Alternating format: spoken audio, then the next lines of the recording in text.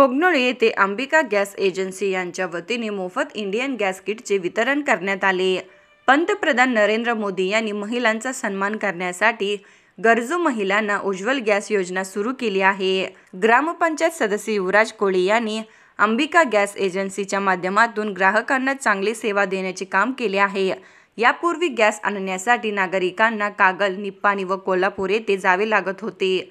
परंतु gas agency कोगनोळीमध्ये मिळाल्यामुळे नागरिकांचा वेळ श्रम व पैशाची बचत होत आहे. यावेळी बोलताना माजी जिल्हा पंचायत उपाध्यक्ष पंकज पाटील म्हणाले सर्वप्रथम आपल्या सगळ्यांना दिवाळी पाडव्याच्या हार्दिक शुभेच्छा देतो. येणारं वर्ष आपल्या सगळ्यांनाच या ठिकाणी सुखसमृद्धीचं जावं आरोग्यदायी जावं ही अंबिकेच्या प्रार्थना करतो. आणि या ठिकाणी अंबिका गॅस एजन्सी या ठिकाणी ज्यावेळीपासून सुरू झाली. के डी गुरुजींनी सांगितले बाळवानांनी स्वतः सांगितलं. एक चांगली सेवा या एजन्सीच्या मार्फत युवराज कोळीने आपल्या सर्व गावातील व परिसरातील या पंचक्रोशीतील लोकांना अगदी घरपोच डिलिव्हरीपर्यंत देण्याची व्यवस्था त्यांनी केलेली आहे. आणि गेली सतत वर्ष हे कार्य त्यांनी काळजीपूर्वक केलेलं आहे. पूर्वीच्या काळामध्ये म्हणजे एक पंधरा वीस वर्षापूर्वी गॅस एजन्सी म्हणजे एक पैसे मिळवण्याचं साधन सर बघितलं जात होतं.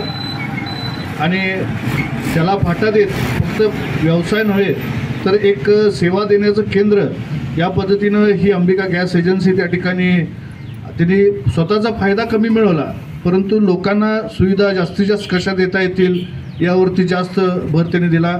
भविष्यकाळामध्ये या एजन्सीकडून जास्तीत जास्त सेवा आपल्या भागातील लोकांना मिळेल ही अपेक्षा या ठिकाणी व्यक्त करतो. आणि विशेष करून युवराज कोळी यांचं विशेष अभिनंदन करतो की अगदी कमी फायद्या कमी नफ्यामध्ये आपण ही एजन्सी चालवून लोकांना जी सेवा देत आहे निश्चित अंबिका माता तुम्हाला आशीर्वाद करेल याची खात्री आम्हाला सगळ्यांना आहे. आणि अशीच सेवा आपल्याकडून लोकांची हो एवढी मी पुन्हा एकदा सदिच्छा व्यक्त करून या ठिकाणी दोन शब्द थांबवतो. यावेळी उपस्थित मान्यवरांच्या हस्ते पंचवीस लाभार्थ्यांना गॅस किटचे वितरण करण्यात आले. यावेळी माजी तालुका पंचायत सदस्य बाळासाहेब कागले ग्रामपंचायत सदस्य राजगोंडा पाटील महेश जाधव धनंजय पाटील अनिल कोंडेकर संजय पाटील मुरलीधर कोळेकर बाळासो पाटील संजय डूम केशव पाटील सुकुमार वड्डर संभाजी पाटील यांच्यासह अन्य मान्यवर व लाभार्थी उपस्थित होते. के डी पाटील यांनी सूत्रसंचालन केले. जगन्नाथ खोत आभार मानले. कोगनोळीहून अनिल नवाळे